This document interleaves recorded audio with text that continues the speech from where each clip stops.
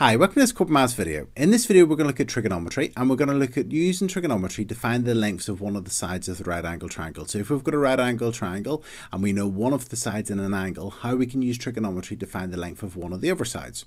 Now before you watch this video, I'd highly recommend you go to corbettmaths.com and you watch the introduction to trigonometry video. And in that video I go through how to label the sides of a right angle triangle. Also in that video I go through the trigonometric ratios. They are the tan of the angle, tan beta, is equal to the opposite divided by the adjacent.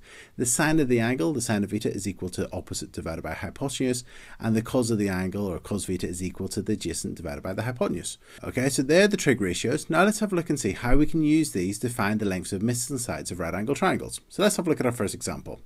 So here we've got a right angle triangle, and we can see it's a right angle triangle, and we've got an angle of 63 degrees. The length of this side is 7 centimetres, and we want to find the length of this side of the triangle. So because we know we're going to be using trigonometry, because we're using angles and sides of the triangle, a right angle triangle, and we want to find the length of one of the sides, let's write down our trigonometric ratios, our trig ratios. So they are tan theta, tan theta is equal to the opposite divided by the adjacent.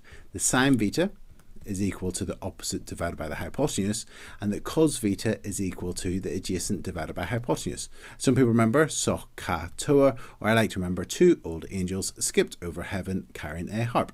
So there are trig ratios. Now let's label the sides of our right angle triangle. So we've got our right angle. The side opposite the right angle is the largest side of the triangle, so that's the hypotenuse. That's the hypotenuse, this one. Then we're going to be using this angle in this question, the 63 degrees. So the side opposite it will be the opposite. So that side's the opposite, the x.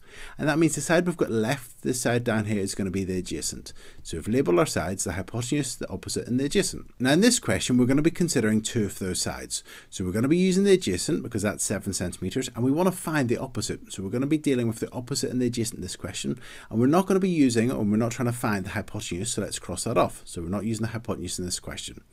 So now let's go to our trig ratios and cross off any ratio that has the hypotenuse in it.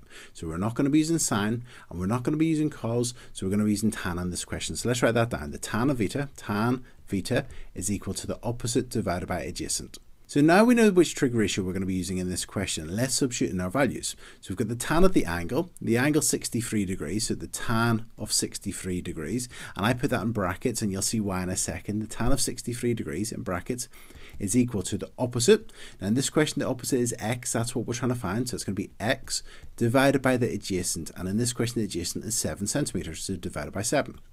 So we've got the tan of 63 degrees is equal to x, the side we're trying to find, divided by 7.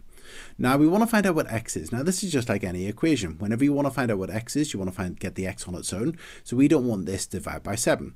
So if we want to get rid of this divided by 7 on the right hand side of the equation, we're going to multiply both sides by 7. So multiply by 7 and multiply by 7. On the left hand side we had the tan of 63 and we're going to multiply that by 7. So that's the tan of 63, close brackets, multiplied by 7. And the reason that I put the 63 in brackets, and it's very important that I do so, is that whenever I'm typing this into our calculator, if I don't close the brackets around the 63, the calculator thinks I'm doing the tan of 63 multiplied by 7, so it does 63 times 7, which is 441, and does the tan of that. So it's very important that you close brackets around the angle, and then times 7. And then the right-hand side of the equation, we had x divided by 7. We're timesing by 7 to get rid of the divide by 7, so we'd just be left with x.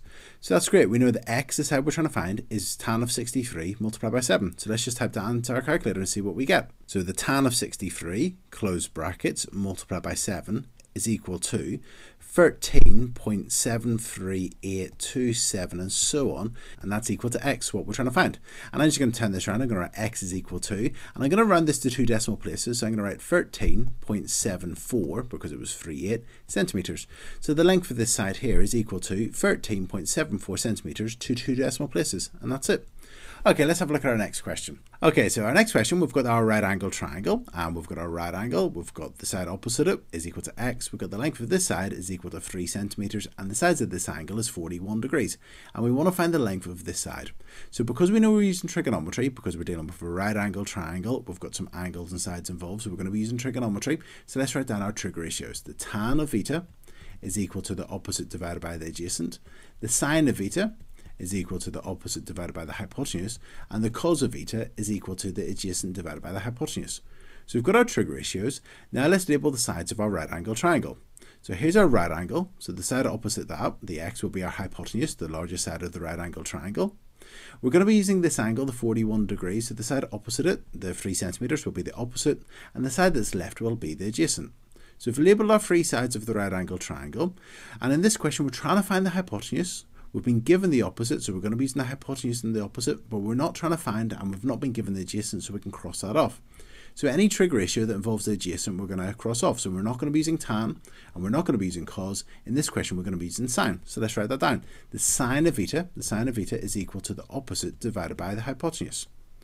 That's great. Now let's substitute our values. The sine of theta, the sine of our angle. So the angle's 41 degrees, so it's going to be the sine of 41 degrees, and I always put that in brackets, the sine of 41, is equal to the opposite, so the opposite is 3, divided by the hypotenuse, and in this question the hypotenuse is x, so divided by x. So we've just substituted in the values for the angle, the opposite, and the hypotenuse, which are 41 degrees, 3, and x.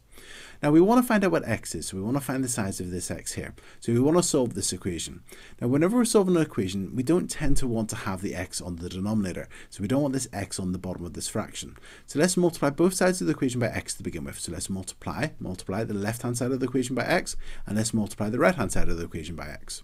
So on the left hand side of the equation, we had the sine of 41, so let's write that down, the sine of 41 degrees, close brackets, multiplied by x, so multiplied by x is equal to, and on the right hand side of the equation, we had 3 divided by x, we are multiplying by x to get rid of the divide by x, so we'd just be left with 3.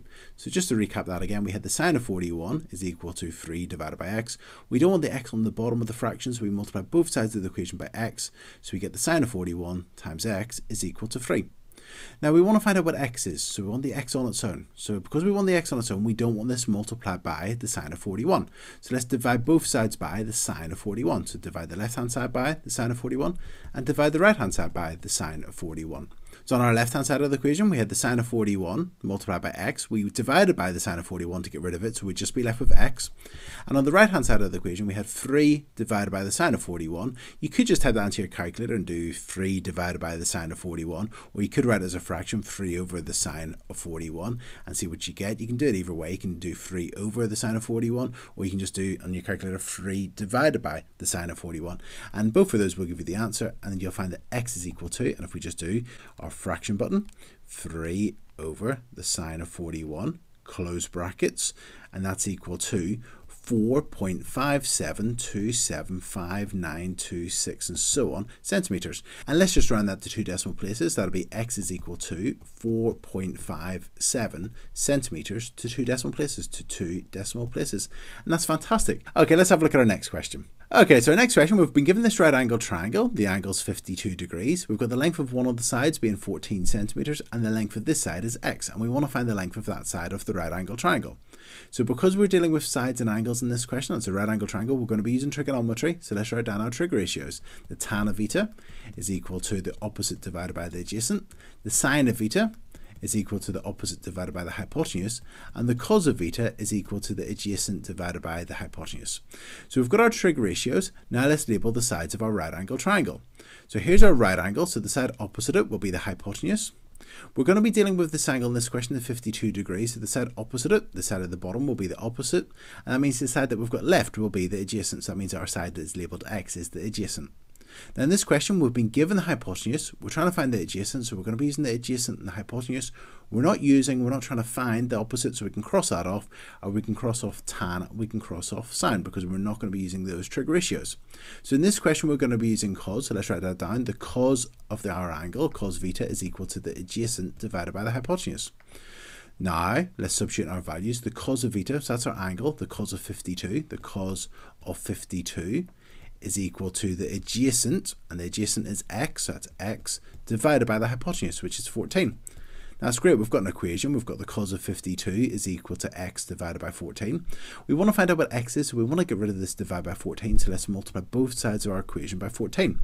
So on our left hand side we had the cos of 52, so the cos of 52, and we're multiplying by 14, so we're going to times by 14, and again I'm just being careful to close the brackets around the 52, and then on the right hand side, we had x divided by 14. We're multiplying by 14 to get rid of the divide by 14, so we would just be left with x. And that's great, because now if we do the cos of 52 multiplied by 14, we'll find out the length of the side. So let's do that. The cos of 52, close brackets, multiplied by 14, is equal to 8.619260655 and so on and that's equal to x. So that means that x, the length of this side, is equal to, x is equal to 8 point, and let's just round the two decimal places, 62 centimetres to two decimal places, to two decimal places, and that's it. So that's fantastic. So we had a right angle triangle where we were given one of the angles, 52 degrees, we're given the length of one of the sides, 14 centimetres, and we've worked out the length of this other side here would be equal to 8.62 centimetres to two decimal places. Okay, let's have a look at our next question. So our next question says, calculate the length of the side AC. So we want to find the length of AC. So let's look at this triangle. We want to find the length of AC. So that's this length here. I'm just going to label X to begin with. So we want to find the length of that side. So I'm just going to call it X. And we've been asked to calculate the length of that side. And we've been given a right angle triangle. And we've got the sides of this angle. We've got the sides of this side, the AB to be 6 meters.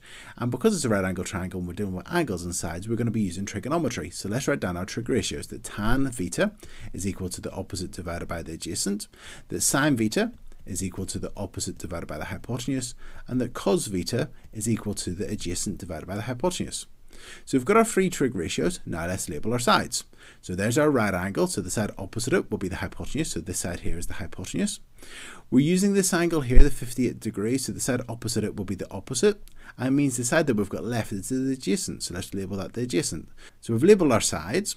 Now in this question, we're not going to be using the hypotenuse, we've not been given it, and we're not trying to find it, whereas we will be using the opposite, we will, we're trying to find the adjacent, so we can cross off the hypotenuse, and we can cross off any trig ratios that involve the hypotenuse, that's the sine and the cos. So in this question, we're going to be using tan, so let's write that down. The tan of theta, tan theta, is equal to the opposite divided by the adjacent. Now we know our angle, our 58 degrees. We know the opposite is 6 meters and we're trying to find the adjacent and we've labeled that x. So let's substitute those values into our trig ratio. So we've got the tan of theta, so that's our angle, the tan of 58, tan of 58, close brackets, is equal to the opposite and the opposite is equal to 6 so 6 divided by and then we've got the adjacent and the adjacent we've called that x so divided by x now if we have a look, x is on the denominator and we tend not to want to have our x's on the denominator, so let's multiply both sides of the equation by x. So let's multiply the left hand side by x and multiply the right hand side by x. So on the left hand side we had the tan of 58, we're multiplying by x, that's the tan of 58, tan of 58, close brackets, multiplied by x. And on the right hand side we had 6 divided by x, we multiply by x to get rid of the divided by x, we'd just be left with 6. That's fantastic. We've got the x off the denominator. Now we want to get the x on its own, so let's get rid of this multiply by the tan of 58. So let's divide the left hand side by the tan of 58, and let's divide the right hand side by the tan of 58.